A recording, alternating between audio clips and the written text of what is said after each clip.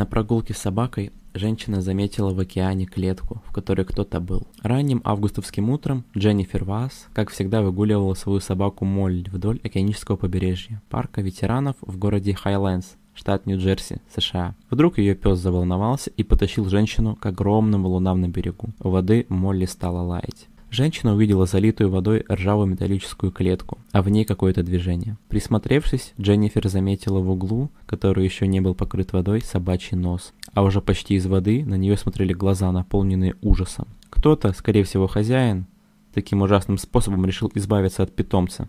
Дженнифер немедленно полезла в воду и вытащила клетку на берег и вызвала полицию. Они подключили и службу спасения животных. В клетке оказался молодой, красивый, чистопородный питбуль. По местному ТВ полиция попросила жителей города сказать, кто мог быть владельцем этого песика. И через день имя его стало известно. Теперь этого человека ждет суд и очень большой штраф.